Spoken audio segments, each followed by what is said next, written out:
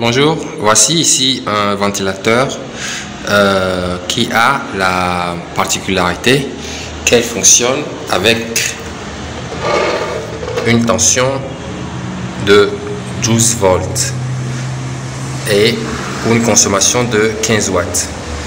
Alors, nous allons le brancher sur ce, cette batterie qui est à côté. C'est une batterie de 12 volts 100 ampères heure. Et on va voir ce que ça va donner. Alors il faut voir que la batterie s'alimente grâce à ce câble qui vient là.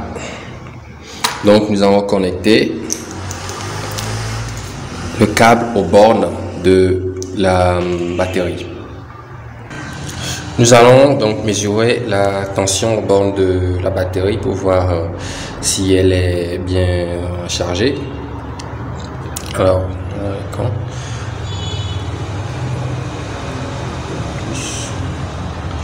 Ok, 13, 13,29, 13,30 volts DC.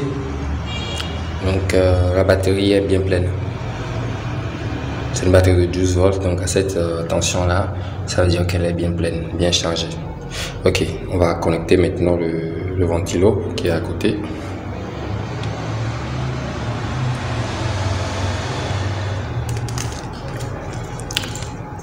la borne négative qui va sur le moins, la borne positive. Voilà. Maintenant, on va l'allumer. Hein. Il y a trois niveaux. Ça, c'est off. 1, 2, 3. On va commencer par le 1. Voilà. Ça tourne.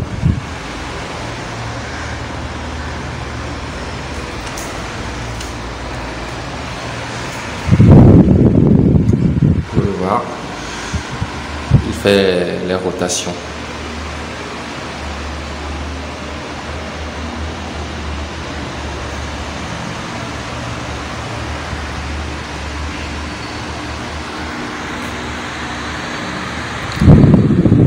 Ok.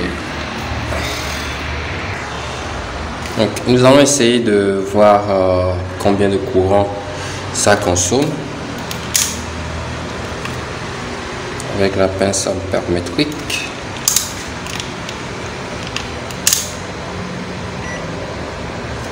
Ok. Donc, ça me donne euh, à vide comme ça, ça me donne euh, 1,1 ampère, 1,2 ampère. Donc quand je mets ça là, vois 2,3 ampères. Donc euh, en faisant la différence, on va constater que la différence entre 2,3 et 1,2, ça fait 1,1 ampère. Donc 1,1 ampère fois la tension de la batterie. Bon, on va vérifier la tension pour voir ce que ça donne. Là, on reprend euh, ici. Attention. Two. Voilà. Ok, attention, on voit qu'elle est descendue à 13 volts quand on a allumé, allumé le, ventilo. Donc, pendant qu'il euh, tourne.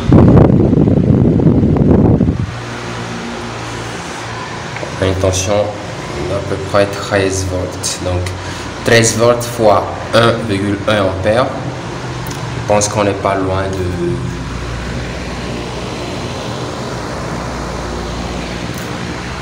on n'est pas loin des, des 15 watts. Bon, maintenant après, on peut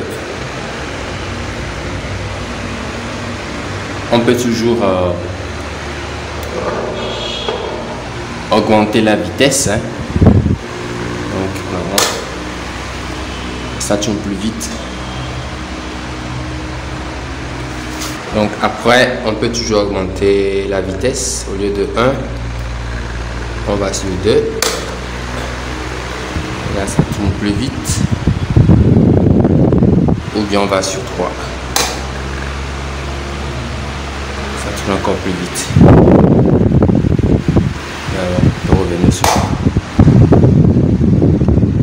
Par rapport à un ventilo normal 220 volts qui fonctionne avec la CET, celui-ci fonctionne uniquement grâce à une batterie qui, quand elle est déchargée, sera euh, rechargée par euh, le panneau. Donc on peut brancher le, on peut brancher aussi le panneau dessus directement d'un régulateur de charge. Et puis voilà, dans la journée c'est le, panneau qui va faire fonctionner le ventilo. Donc je répète, euh, le ventilo fonctionne grâce à l'énergie des batteries. Maintenant, quand les batteries sont, la batterie est, déchargée, le lendemain, on charge la batterie avec le panneau. Et voilà. Et donc, le panneau peut aussi alimenter directement le, ventilo et le charger la batterie. Comme ça, bah, le ventilo peut tourner 24 sur 24 sans problème. Et on n'a pas besoin d'avoir euh, le réseau pour avoir euh, le ventilo qui marche. Donc c'est à peu près ça la grande différence entre ce ventilo et celui-là.